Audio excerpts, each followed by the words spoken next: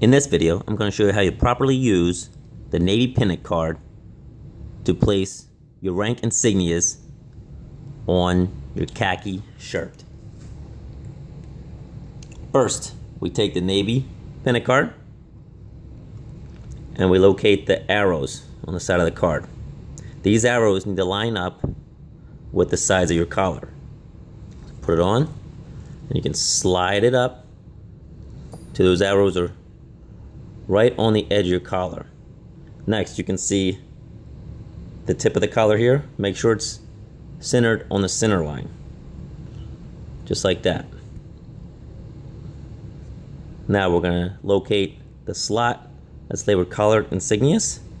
And we're going to use this slot.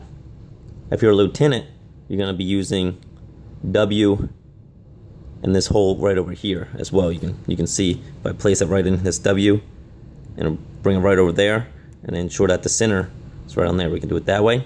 Or you can take, take commander here. Sorry. And place it right in collar insignia slot ensuring that the middle of the insignia is in this dotted line. So here we go.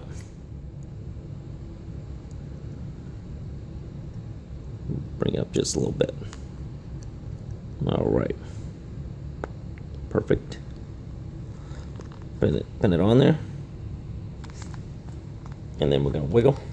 Get the get the holes. Take it out. Locate your holes left behind.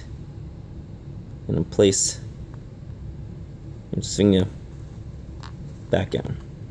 And there you have a perfect collar insignia every time. No measuring required if you would like to see more videos on how to use the Navy Pin-iT card with Navy uniforms, you can visit our YouTube channel at Pin-iT Card, or you can visit our website, www.pinitcard.com. Thanks for watching.